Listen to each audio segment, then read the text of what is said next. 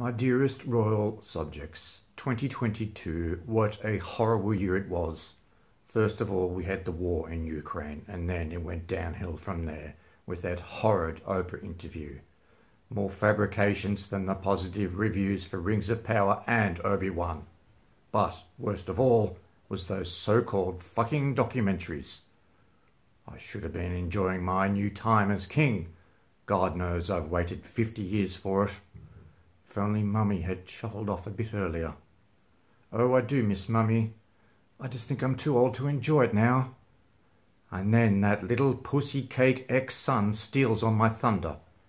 To think that he earned twenty-five million an episode.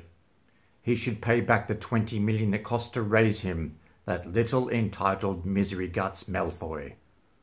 And yet, despite the best upbringing that money could buy, it still couldn't buy him a sturdy set of testicles.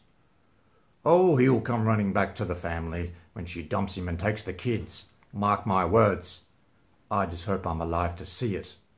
I won't say a word in public, but I'll be laughing my royal man boobs off. Speaking of which, Camilla, do you still have my balls on your neck chain? I have a feeling I'm going to need them back.